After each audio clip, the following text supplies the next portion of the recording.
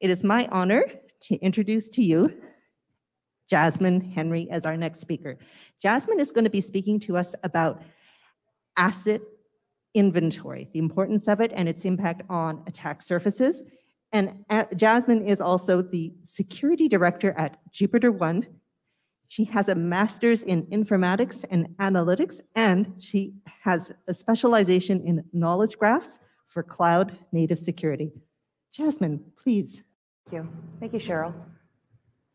Uh, thank you, everybody, for being here. I feel really honored to have um, some folks in the audience. I know there's a lot going on in Vegas between uh, B-Sides, Black Hat, Diana Initiative, uh, multiple tracks. Um, I am Jasmine Henry, and I'm going to be sharing some research I did uh, this year on asset inventory, attack surfaces, and attack paths. Um, I am security director at JupiterOne. Um, my background is in analytics. so I'm going to be finishing my PhD this year in data quality. Um, and my specialization, it wasn't really intentional, but I've kind of developed this career specialty in using graphs uh, for security at cloud native startups is a lot of the work I do. Uh, the role I'm in now involves a blend of research and security. Um, I have to kind of balance the research I really enjoy with uh, pragmatic things like passing audits. Um, I have had this hair color for years and years, so I'm pretty easy to recognize at conferences. Please say hello. Um, and I am a fan of women's professional basketball. A lot of times when I say that at conferences, people laugh, which is great because um, it's kind of an icebreaker.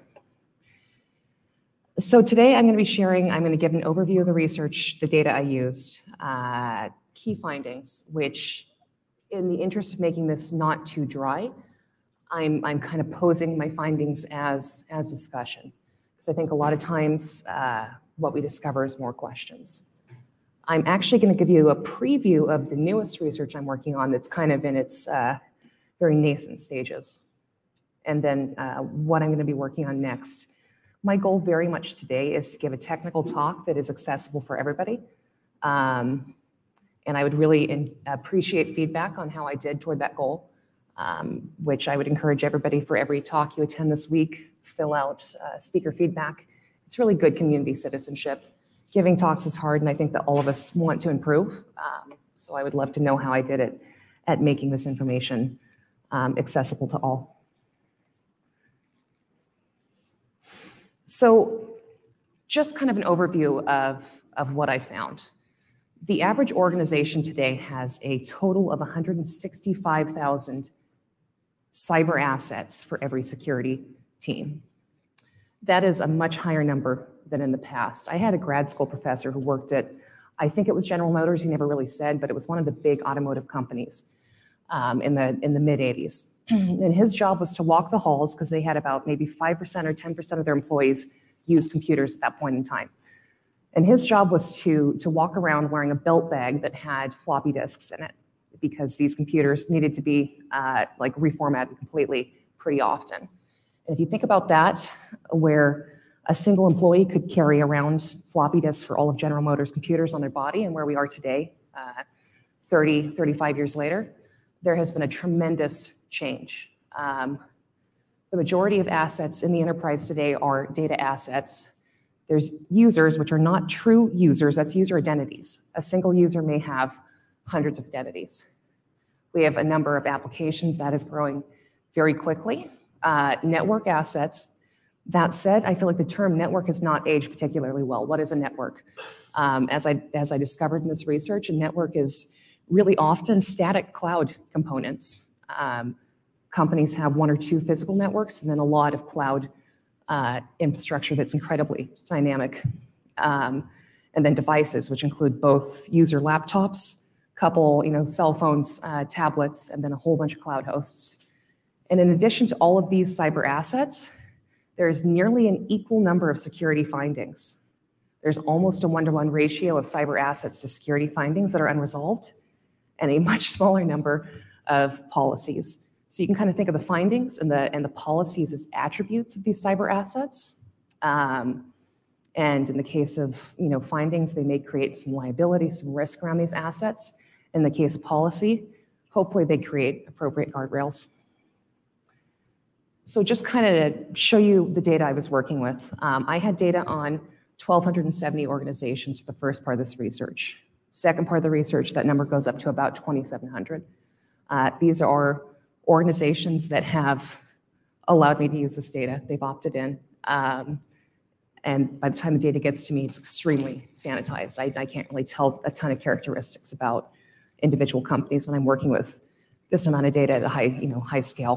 So 1,270 organizations. In total, there was 372 million data points, 210 million cyber assets, 162 million asset attributes. And then you can kind of see the breakdown from there, which is a reflection of the prior slide.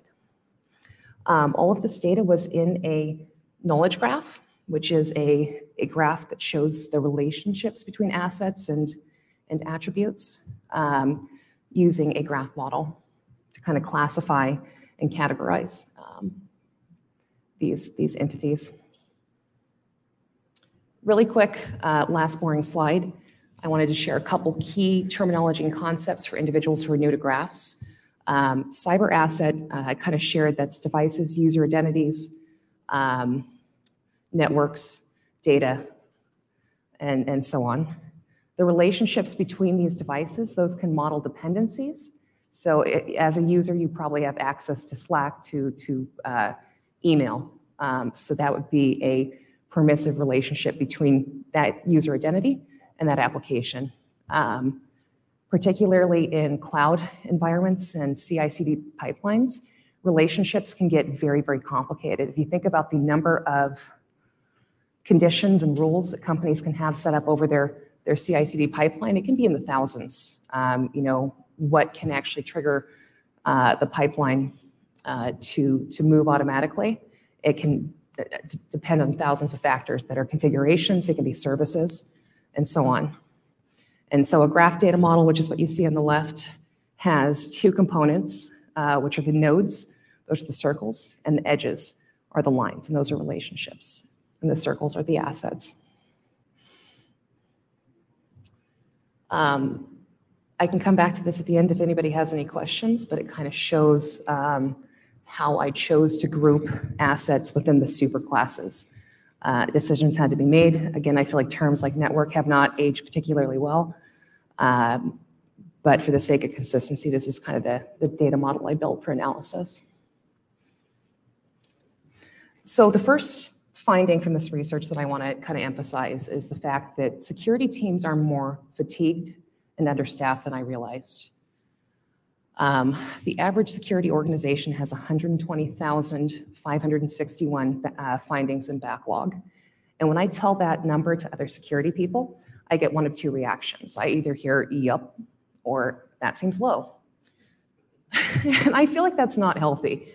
Um, there is a written report behind this research at this point. If you if you want to go dig it up, you you may. And I kind of go on a diatribe. You know, if I think about a world where product engineers had 120,000 Jira tickets in queue. Um, I feel like they would raise their middle finger and go get a different job. Um, I feel like this is not normal, it's not psychologically healthy, but that is the state of security findings at our organizations, the majority of which are coming from cloud security tools, Amazon Inspector, services are running over cloud detecting drift or uh, you know security risks in real time or vulnerability scanners which are often typically cloud as well um, but sometimes can be code.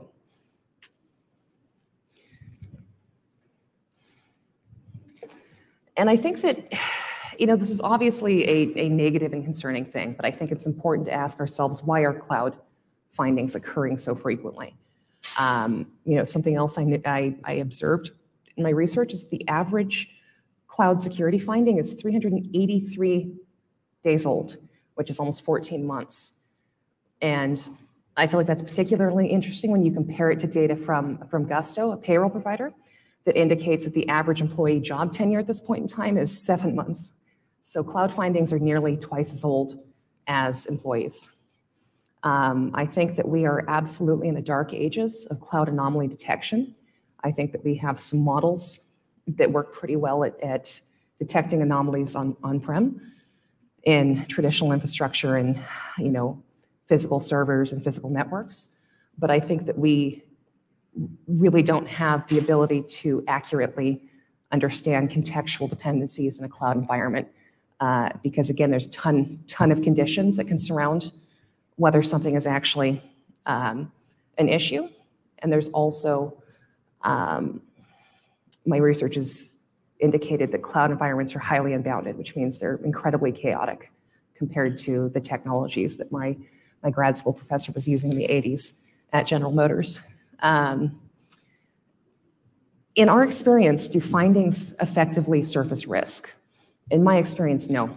You know, there's been times when I've chosen to mute Slack feeds from Amazon Inspector because it's so much drivel. And what that inevitably means is that one finding will come through that actually is an issue, and maybe it's an hour or two before I notice it. And I think that um, I think there's a lot of work to be done, and it gives me kind of uh, a sense of mental peace to understand that like this work is untenable. Nobody can get to the bottom of their backlogs. Um, everybody is completely overwhelmed. However, um, I think that there's a lot of work to be done on how we identify issues, and also we really need to start taking an automation first approach to how we solve every problem. Uh, the next area I looked at was the proportion of cloud to traditional infrastructure, which traditional may be laptops, um, it can be on-prem servers, it can be um, physical networks. Uh, very unsurprisingly, there is basically nine cloud devices, cloud hosts for every single physical device in today's organization on average. Um, something that actually really did surprise me was the incredible ratio of cloud networks to physical networks and what that means for network security, because these cloud networks are way more dynamic than what we've really been trained to secure. Um, the ratio of devices to employees was another finding that surprised me. That's, that's on average. And that doesn't mean that people have 110 laptops apiece.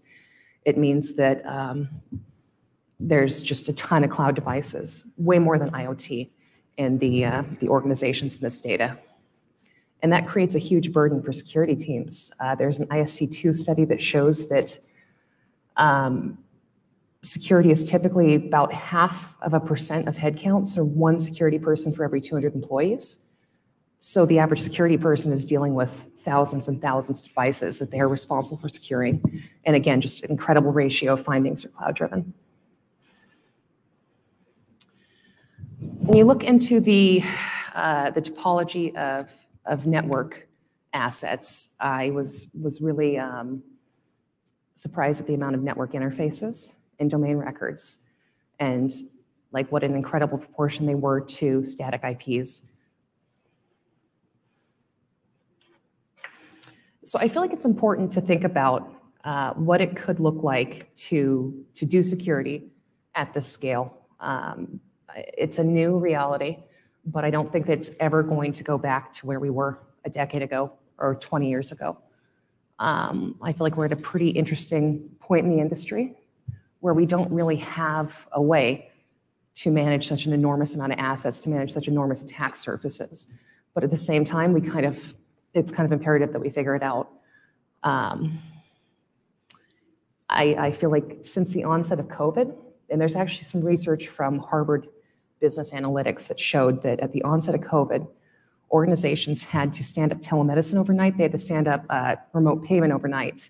And before COVID, these would have been often six to 18 month development cycles. However, they were done overnight during COVID.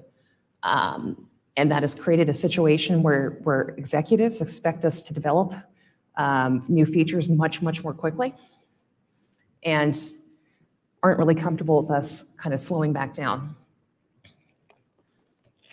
That's had a profound effect on security teams where we don't have as much visibility into things before they're deployed to production.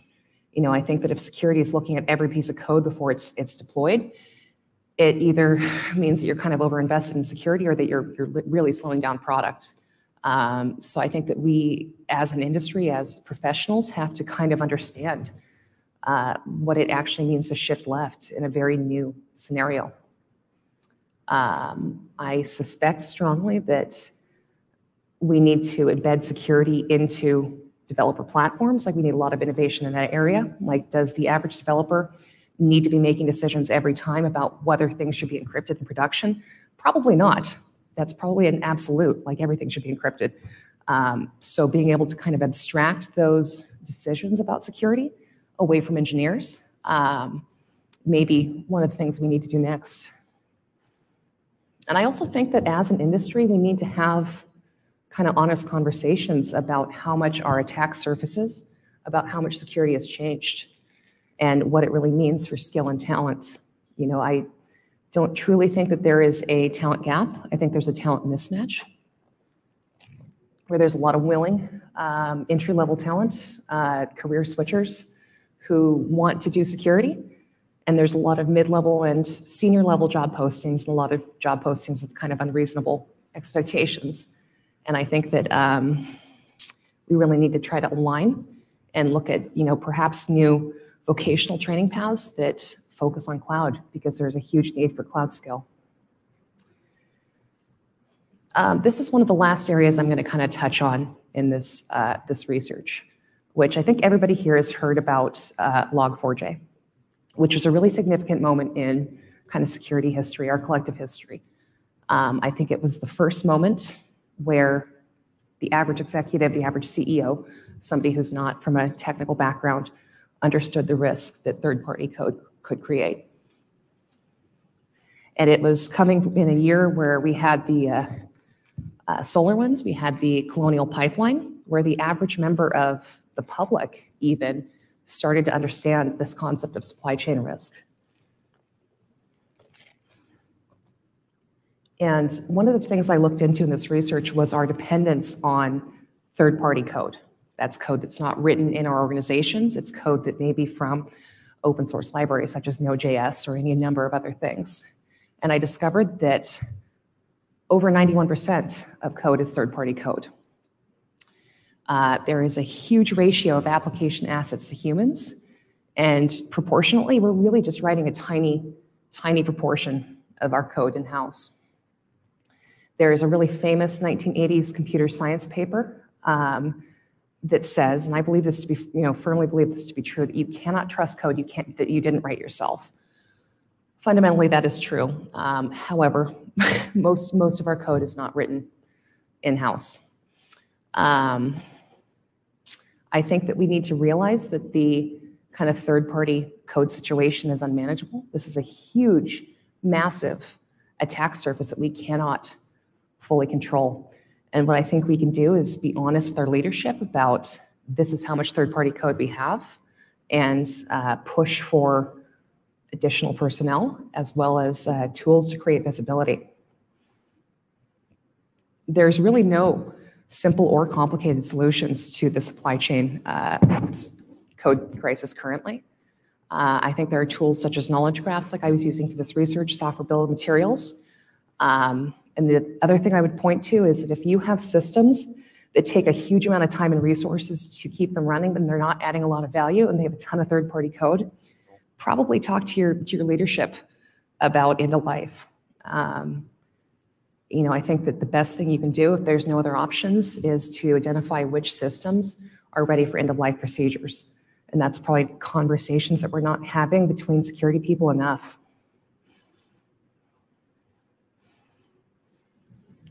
I lied, I had one more area of key findings.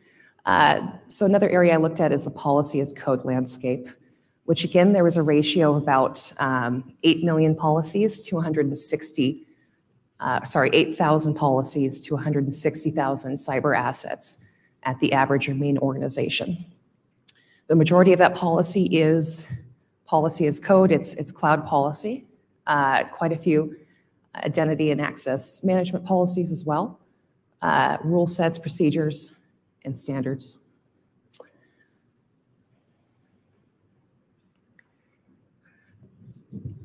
And I think that the ratio of 8,000 policies to 160,000 cyber assets, which is 1 to 19, is not actually that interesting or meaningful of a number. Um, I think that we actually eventually want to have a smaller number of policies as the number of cyber assets grow. Um, policy administration at cloud scale is very difficult, and we need to figure out ways to make it easier.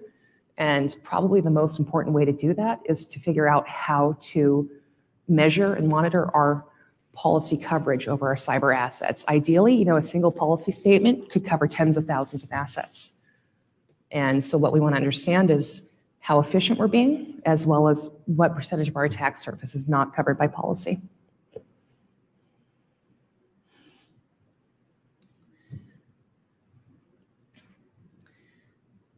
Um, I did some looking into uh, asset relationships, which you know is is kind of displayed in the graph to understand um, relationships between assets. And I also looked at the way the security practitioners at those 1,270 organizations were querying and measuring um, their security data. And I discovered that there's a lot of queries that, that are asking what they have, but not a lot of queries to understand relationships which is a pretty clear indicator that, again, we're overwhelmed and we don't have a ton of time, bandwidth, mental energy to look deeper into risks. Um, so I'm going to summarize kind of the first part of my research, and then I'm going to jump into some, some stuff I'm working on currently. Um, the 2022 State of Cyber Assets report is available online. It's free.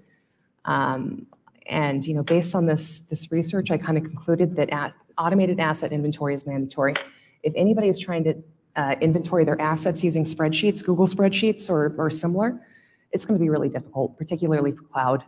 Um, and I think that we also need to push back on our vendors, our, you know, our auditors. If they're coming to us and saying, give me this evidence in spreadsheet form, um, I think that we need to kind of push back and educate them on tools that work better for environments and requirements. It, it is up to us to to educate our leadership and, and our auditors on the realities of our cloud native security environments. I think that this research really revealed how much digital transformation has changed everything in the past few years since the onset of COVID. Uh, there's a ton of evidence of these highly dynamic cloud network services, microservices uh, that really show that we're architecting for flexibility for fast development, um, and that's not going anywhere. A huge kind of conclusion in this research was the importance of cyber asset relationships and dependencies to, to really manage risk. If we're going to have 120,000 findings, the only way to know what's important, because you can't do all of those things, the only way to really know what's important is to understand which of those risks um, have the most connections and dependencies. What is the blast radius? So um, I kind of resolved to do additional research on that. And I was also kind of struck by the enormous gap between reality and, and what security practitioners are querying. So really quick, I've got three slides on this. Um, this is the research I'm working on currently. It's called the ASAP, which stands for Attack Surfaces and Paths. And I'm at uh, 2,300 organizations in this data set um, and 880 million triplets, which a triplet is a unique occurrence of two nodes on one edge. So Jasmine, the user, accesses Gmail, would be a triplet. Uh, there's a really famous quote from John Lambert, who is a distinguished engineer at Microsoft, that says, uh, attackers think in graphs, defenders think in lists. As long as that's true, defenders win. And I feel like I'm somebody who's always challenged what I'm told to do, challenged what I'm told to think. Um, and while I do think that we need graphs, I don't think it's as simple as always win, always lose. I think that, that attackers have a much easier time with graph-based thinking because they kind of just try attack paths until something works, until something sticks to the wall, whereas defenders have to defend every node. I think that we need to be realistic about what it means uh, to be a defender in today's cloud native environments. Um, and I was also interested in, you know, how dynamic are our attack surfaces and paths. I ran an algorithm to understand how far assets are from the, the public internet which was really computationally intensive. This was days of things not working until something uh, finally worked. Um, and I was really surprised at this distribution. Uh, many of you probably heard of six degrees of uh, Kevin Bacon, or you know, Facebook's four degrees, where you have enough connecting relationships that you'll eventually get to to Kevin Bacon. And I think that there had been some kind of light assumption that our environments had a similar kind of six degree distribution. It's actually a lot more complicated than that. Um, less than 1%, so 0.2% of assets are directly connected to the internet. That's largely API gateways and firewalls. Um, and then you can see the distribution from there. So the majority of assets are three to seven degrees away from the internet. And then there was this really interesting spike um, at about nine degrees from the internet. I've, since this, um, I have spent weeks kind of ripping out and redoing my attack surface logic because, for example, users are typically going to be either four or five degrees away from the internet because you're accessing the internet um, typically through a laptop, through an identity.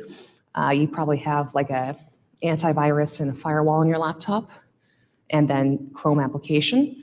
So you're going to be about number five, but that's really an indirect uh, connection to the internet because users typically have the potential to cause enormous damage. So path length is not everything. It's one measure, and I think it's an interesting one. Um, and attack surface logic is incredibly complex. This is something that really surprised and interested me. So the first thing I did was I looked at path lengths at kind of newer, more sophisticated organizations versus um, organizations that were much older.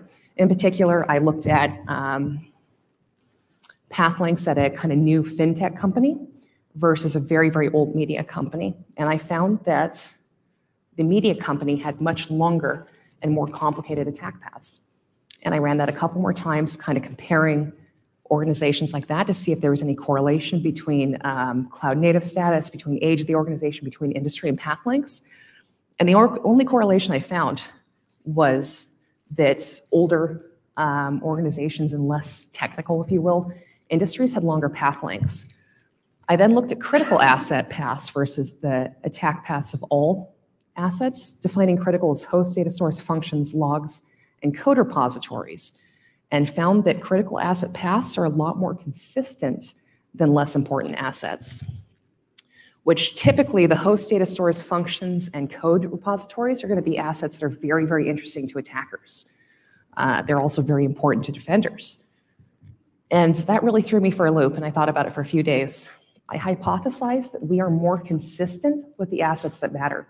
We treat them with better consistency, we have more process around them, and things are less likely to slip through the cracks. And what that means is their path lengths are shorter, they're more predictable.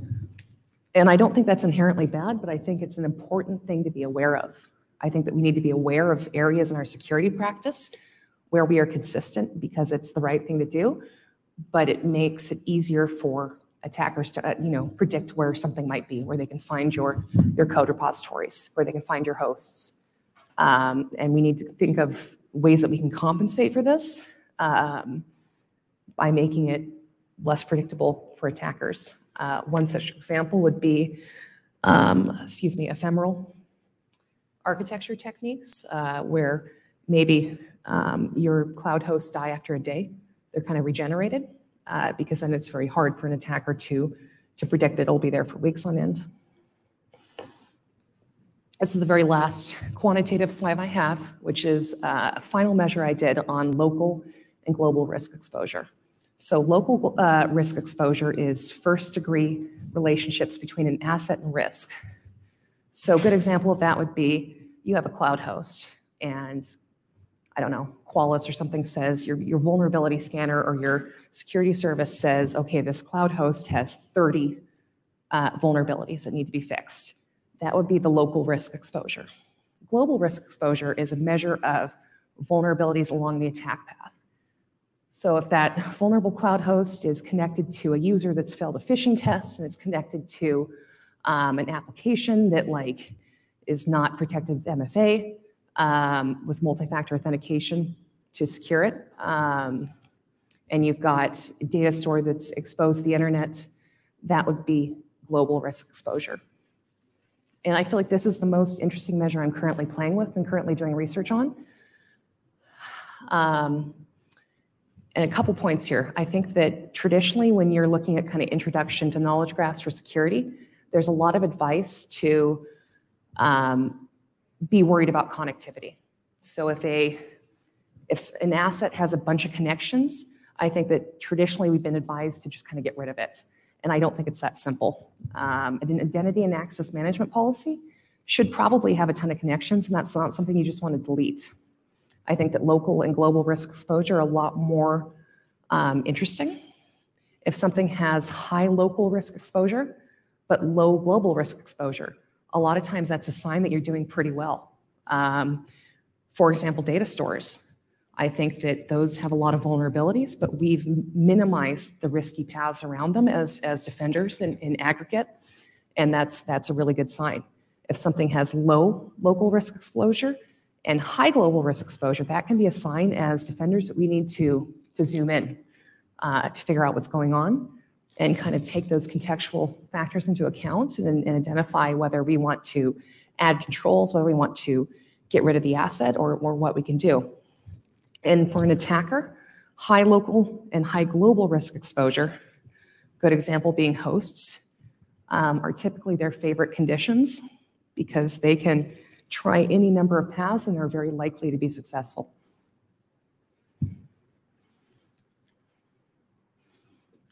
Um, again, thank you. Any questions?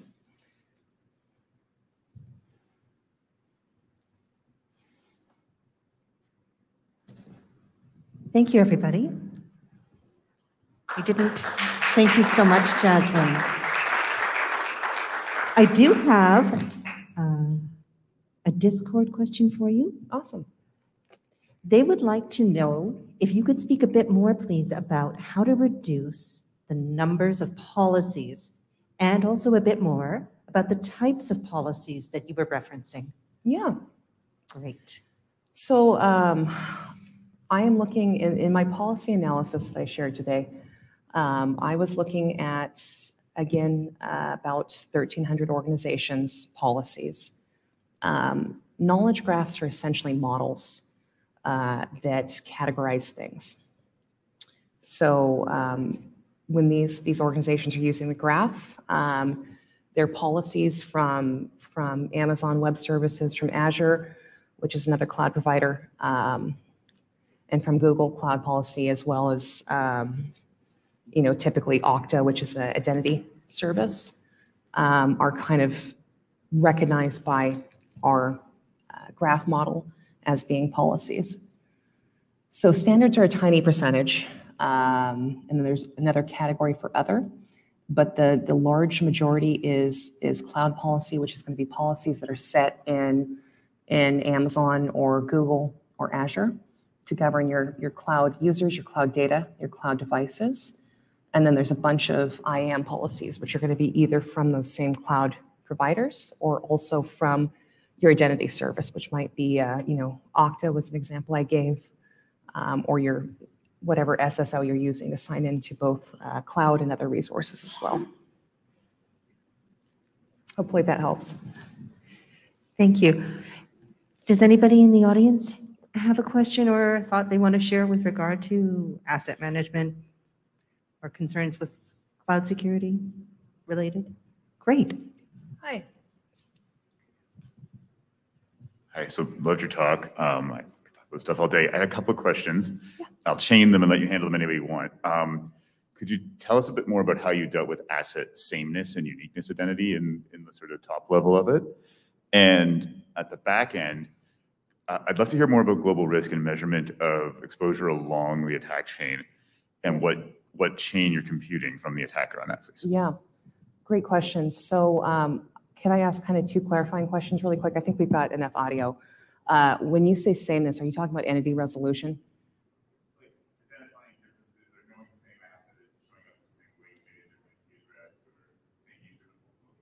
Yeah. So um, it's hard. It is hard. There's a lot of really uh, crappy, I shouldn't say that. I feel like there, a lot of what we do in security um, is in its infancy. Um, I think there's a lot of graph models that are not where they need to be. Um, I can say that my organization, so the graph model that I'm kind of using for this research, we have an open source version, so I'm not hustling our product on anybody. Go on GitHub, uh, play with it over Neo4j if you want.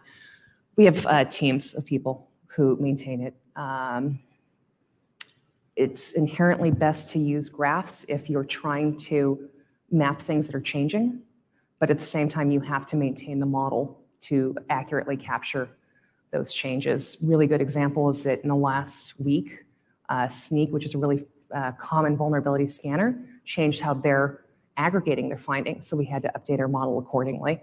Um, so something I'm going to be working on over the next year. Nobody is really currently able to quantify how accurate their graphs are. Um, so two things I'm going to be working on toward that end, towards the sameness, towards the entity resolution, is setting up known good environments um, to, and then constant sampling, automated sampling um, to maintain a quantitative measure of quality in our graph. Um, I apologize. What was the other question? Yeah.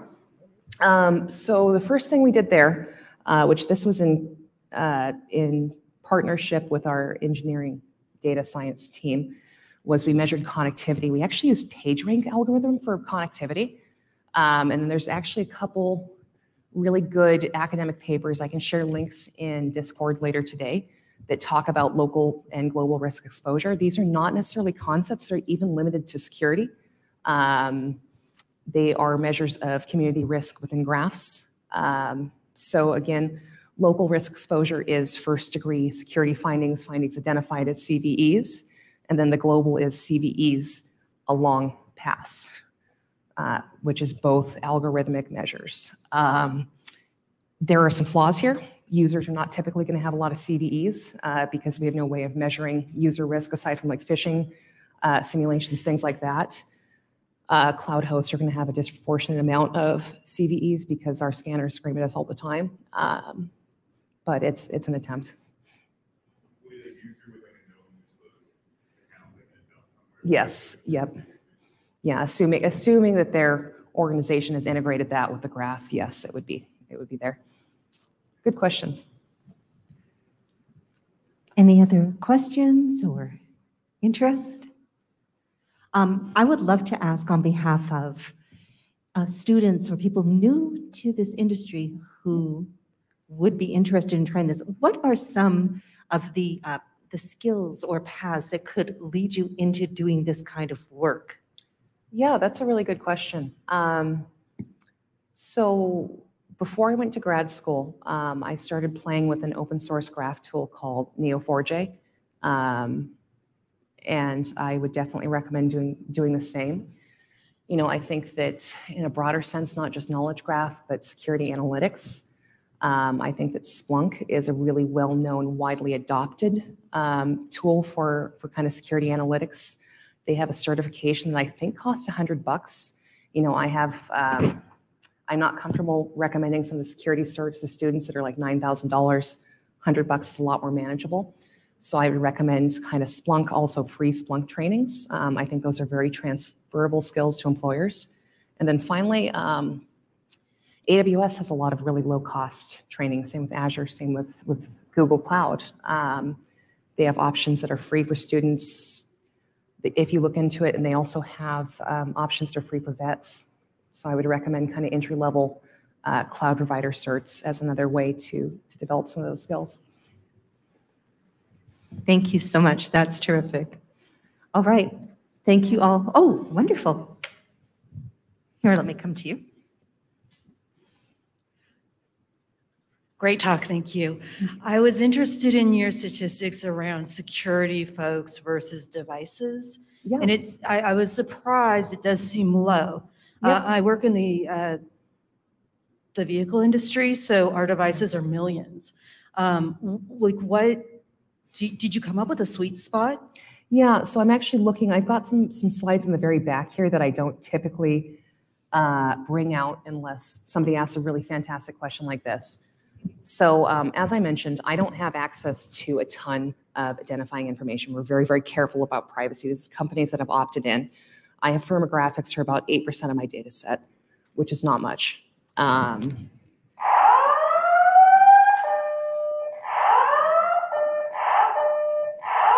I don't know what to do. It's normally just a drill. I apologize, guys. It happens every. Apparently a false alarm. Um, We protected human health and safety, just like ISCTO asked us to. Um, But we're back, so thank you for attending.